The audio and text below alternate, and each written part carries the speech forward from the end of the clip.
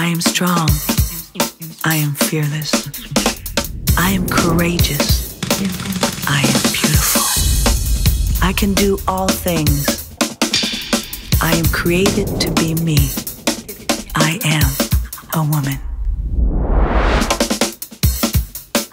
And I am funky.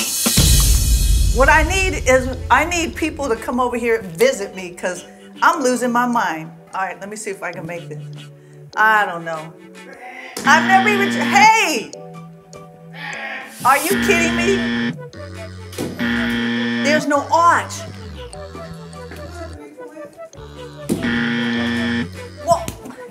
Why are you throwing them so? we have nothing else to do because no one is here. Okay. oh shoot. Oh shoot. Oh, I hit the TV and okay. Oh, jeez. Are you kidding me? Come on, really? There!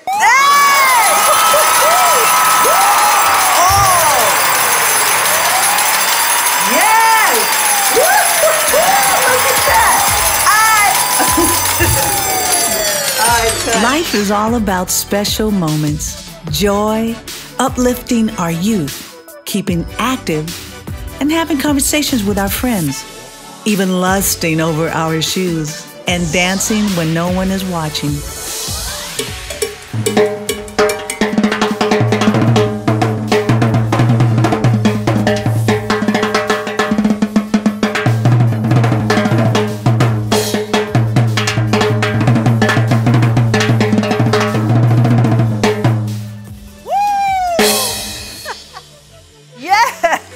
I'm Sheila E. Welcome to Sheila E. TV. My conversation today is with an artist who comes from Cuba.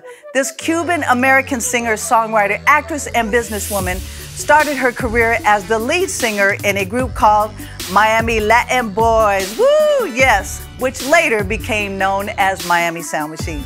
She has been honored and has so many awards, we can't even list them all. Seriously. Please welcome my beautiful friend, Miss Gloria Estefan.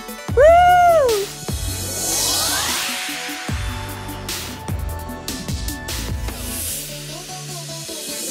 Hey, hey, amiga. I'm so happy to see you. You look fantastic and incredible and amazing. You're getting younger. you. You're getting younger. Girls. That's what's happening. Well, thank you. I wish. I'm three months older than you.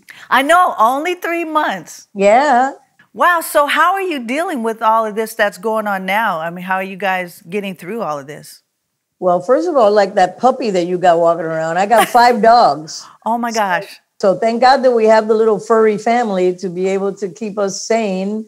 Exactly. You know what? It's been it's been really an interesting time. I love being home and probably like you, I had Right. spent two years that I was on the road, like with on your feet and you know, setting up the show in a million different places and scurrying about doing 5,000 things. So I can't complain. I mean, I was really happy to be home, get in my attic, take everything out that had been there for the last 30 years, organize every closet, Oh gosh. stuff that I had never really been able to do. Sure. And thankfully, with the technology, you know, you stay in touch. Of course, you miss people, and it's scary. Mm-hmm. I Yeah. had COVID back. I know. I wouldn't have known I was sick had I not lost the taste and smell, Right. and then a bit of a cough because my immune system is on point. So Yeah, you I take care of yourself. Yeah, I was one of the care. lucky ones that you know Yeah. didn't take me down. But I've had a lot of friends that have been hospitalized and everything. People we've lost. You Yeah, know, same here. tough. Yeah, it's tough. I know. It's. Uh, I'm glad that you guys are getting through it, and I'm glad that you're fine. I, you know, when I saw on the news that you know you had posted you were sick, I'm like, wait, what? What's happening? Yeah. You and know? that was after because I didn't post it till I was okay. exactly. I So- tried to share my experience, you know, so they could learn. Yeah. No, I, I think that that's good that you posted after. They're really important because I think posting, yeah, I have it. I'm going to go through it. I think the pressure and the stress of trying to get well and freaking out, you did the right thing. So I was happy to hear at the end of your conversation. Ex- and I'm fine. I'm going, thank you, Jesus. I said it every day. Thank you, Jesus. Oh, exactly. Yes. So I want to go back to we met. If I, I don't know if you remember the first time we met. I think I remember this was the first time we met. It was I was um, on the Purple Rain tour. I think you were playing San Francisco, and uh, Conga was out, the single that you guys had out, and I think it was San Francisco at a club. And I heard you guys were playing, and I went to the club to meet you. Was that not the first time we met? I think so. Wow. Because I was already a huge fan of yours, and um, you know, I was so thrilled because, and you know, you get nervous because whenever somebody that you admire and love and you know respect comes to see you, it's like, oh, oh my god, get nervous. I know. Yeah. We so were so long. excited to see you guys perform because we love that song, and it's like to have a uh, a, a band that was playing Latin pop music and you know, playing real instruments and with so, all the perk, you know, percussion yeah. that's so yeah. much a part of what we do. And yeah, it was so much fun. I remember walking in, and I know you guys were a little nervous. I was nervous seeing you, but I was more excited. It's like, yes, we get to hear some salsa music and you know, a little bit of flavor of, you know, what you guys brought. We had so much fun. That was such a great show.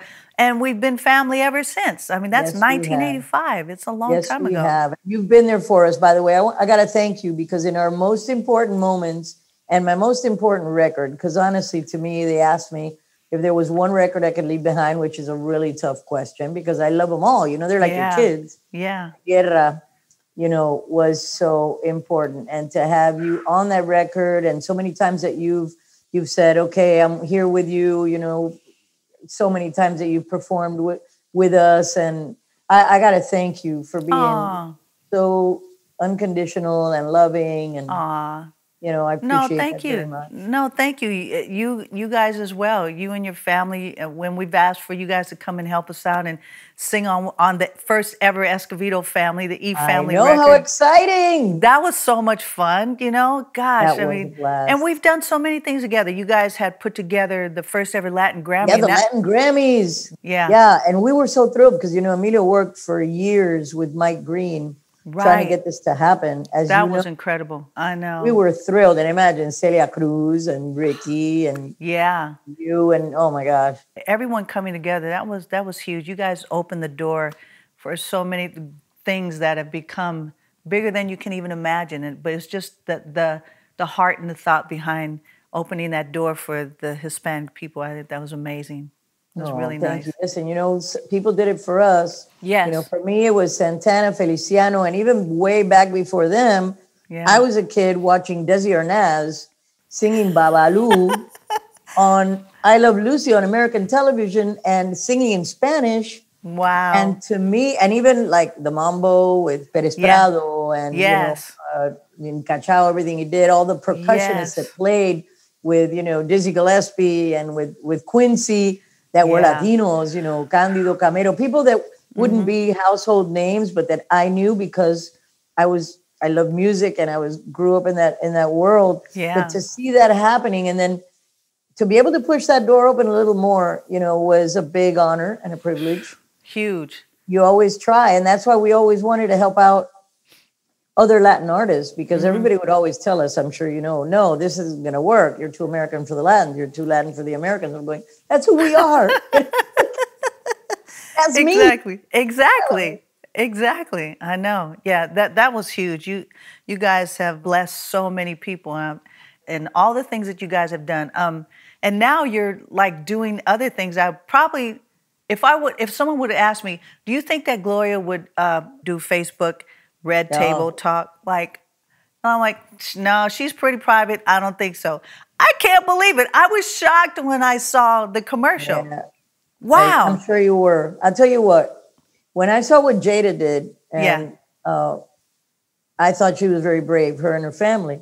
But then when they came to invite me, I was out in LA actually, and I said, one day if the right thing comes along, maybe I'll think about it, whatever. So they come and they tell me this thing, and they go, you know, we'd really love it to be you and your daughter and your niece, Lily, because wow. it's three generations of women like mm-hmm. Jada, mm-hmm. and mm-hmm. it was like growing the, their franchise. So I'm thinking to myself, I knew the kind of topics that we're done on the show and the whole vibe of the thing. And I thought, okay, you know, this could be really cool because at this point in my life, I've lived so much and my fans are kind of like family. And I think right. we could really make a bit of a difference if we do this honestly. Wow. And, yes. Um, we're public people. So no matter how we try, and I am a very private person, but yeah, no matter how you try, your stuff gets put out there. Yes. so I said, look, I'm interested. I need to check with Emily, who's also incredibly private, and Lily, who does a daily talk show on her own for 30 years. She's been on TV. Yeah. And we talked amongst ourselves and we said, look, if we're going to do this, yeah, we're going to do this. Yeah. Because what's the point? You know, if we're going to open ourselves up, we wanted to help other people uh, realize that we're all human beings sharing exactly. this common experience. And just because you're a celebrity doesn't make you immune to no. all the difficulties in the yeah. world. Yeah. So, no, I uh, think it's an incredible show. You ladies are doing great and honest, you know, truthful. You know, you laugh, you cry, you just, it, and to really see that, it's like, wow, that's a huge step. And it's very powerful. And I think you know, we're celebrating women as we're celebrating you now in this month of March. I always say we're celebrating one month every day. Every month should be Women's Women's Absolutely. Day. Yeah, and it is really. It is. It is. But in in that in that sense of, you know, having the three of you together in three de- generations and speaking together as women, I mean, what can you say about that? How important it's so important. Yeah. It is so important, and Latinos have a little bit of a tough time talking about the things that we really need to talk about, mm-hmm. you know, and I think it happens with everyone because this thing's gone all over the world and we've gotten so much amazing response that says, oh my gosh, you opened the door to me being able to talk to my mom about this, that I, I couldn't touch that subject. And when I saw you and your daughter going through it, the episode with Emily, you know, the yeah. sexuality, which has, had, has over, I don't know how much now, but it had well over 10 million views. Wow. And when do you ever get that kind of and interaction? Because people literally go on the page, talk to each other, mm-hmm. answer. There's Red Table Talk families all over that the US from Jada's show. Sure. It's important. You know, this isn't the kind of thing that I was able to do with my grandma and my mom because my right. mom, if just the word sex would, oh, she would freak out. but I know that I know that had we been able to talk about a lot of things that happened in our lives, I think she would have been happier. And I found ways, by the way, around it with her that in my own way, my psychology, because I studied that as well, it helps. That I was able to put her at ease about a lot of things that she might have felt guilty about throughout her life, or that maybe she didn't really express sure. because she they didn't know how. sure, know? exactly. They saw children in a different way. I yeah. mean, I couldn't have told my mom, "Mom, let's do this today," or "No, I don't want.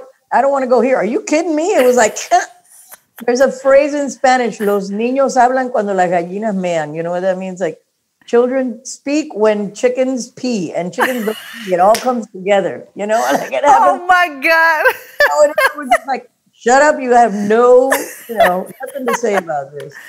And I, I think know. it's important that to move forward. Sure. And now, especially with social media, that communication is going so wrong in many ways. Yeah. Thing it fascinates me. I studied both psychology and communication, so I I watch that like a hawk. It's wonderful in many ways, but in many ways, it's making things very complicated for our young people, and sure. like it's making anger rampant because people just have free reign to mm-hmm. anonymously spew crazy stuff into the world. Mm-hmm. But it's important that we talk and that we talk the right way. That's why this was such a a good avenue. Wow. We never discussed any topic before. Really? Uh, we got wow. to. So I just thought it was perfect, and we need to do a lot more of this kind of communication in our families. You know. Yeah. Really. And I think that's why the response and what you're doing with your family is so huge. Um, People are talking about it. They love it. I heard you got picked up for 12 more yes. episodes. Congratulations.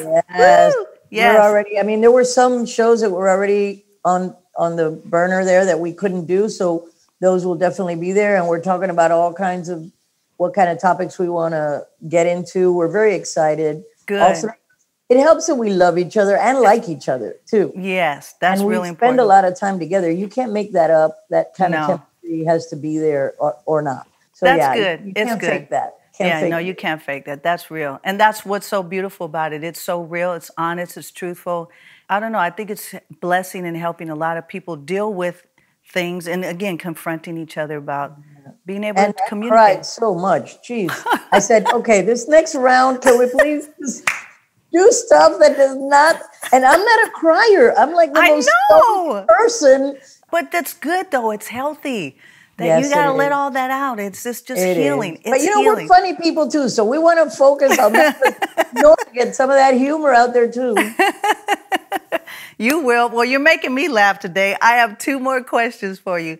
You have a, a new album, or actually, it was it came out last year. It was um, Yeah. yeah. the new album. It's going to come out on vinyl. Brazil 305. It is. Brazil 305. Yeah, that record, which really was inspired because my mom was a huge Carmen Miranda fan, and then later on, um, all the greats, Jobim and you know uh, Elis Regina and everybody, and she played those records for me. And you know, it was supposed to come out in 17, and right the week that I was going into the studio, I went to my mom's house. She made me sing her the whole album, and right after that, she got sick, and I ended up not being able to put on the vocals for a year because I couldn't sing when I lost her. Jeez. Oh. So music finds its best moment, and uh, Mm. it came out at a time where people really needed some joy and uplifting. So Cuando hay amor, the first single, that came out in June of uh, you know of last year. last year, yeah, people were so sad. yeah, So happy to put some joy out there and some rhythm, some more rhythm. yeah. Did It's really great beautiful. across the board, all over the world. So I'm happy. Yeah, congratulations. It's beautiful. Thank you. Yeah, it's beautiful. All right. So the last thing we want to do with you is rapid fire. Yes. Right. You don't. I know you're gonna a have. psychological test, you know. it's a psychological test. Come on, you. One minute. Here we go. As, as fast as I can do this. Here we go. All right. Rum or tequila? Tequila. Toilet paper up or down? Over. Over. That is. Down. Baths or showers? Showers. Ah, congas or timbales? Ah, how can I pick timbales? Uh, timbales. Paris or the Bahamas? See, Bahamas, Bahamas. Dogs or cats? Dogs. Mm-hmm. Antonio Bandera or Jason Momoa? Antonio Banderas. Exactly. He's I love you. I know. I love you for that. I know. I know he's. I knew you were gonna pick Antonio. I love you for that. Thank you so much. Well, I love you, my sister. It's nice Thank seeing you. I love Even- you. the- Congratulations on this show. Thank you. And may you enjoy every moment of it. Thank you for being you. Thank you for being you. And please give hugs and kisses to the family. I will. Likewise right. to that whole Big E family. All E's. There's something about that letter. All right, my love. Bye. Bye. Take Okay. care. Bye. Mwah.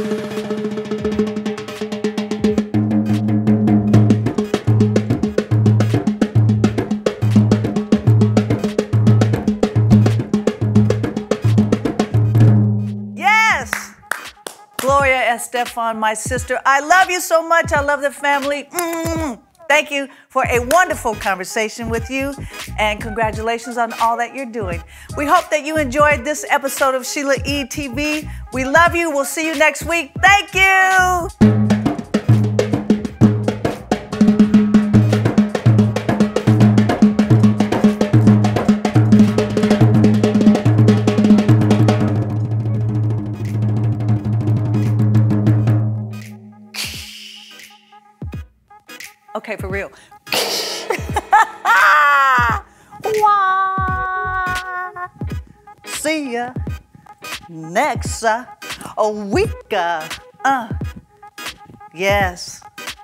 Uh huh.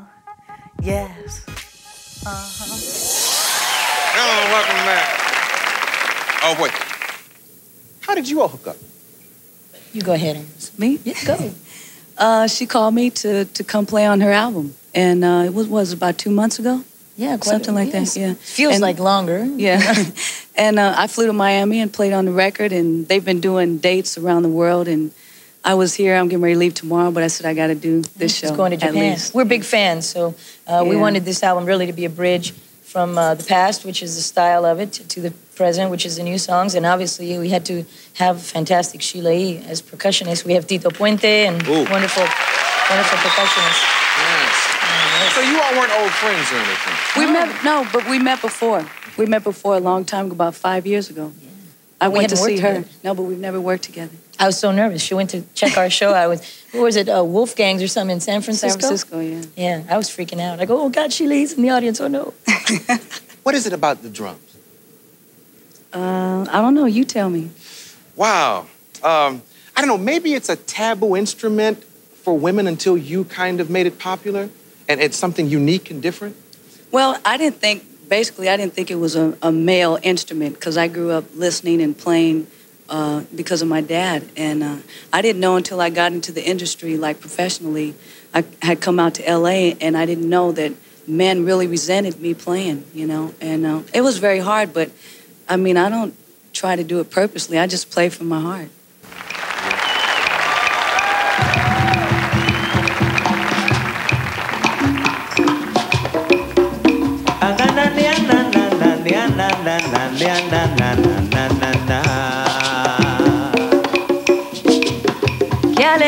Sí, señor. De mi Cuba todo el mundo.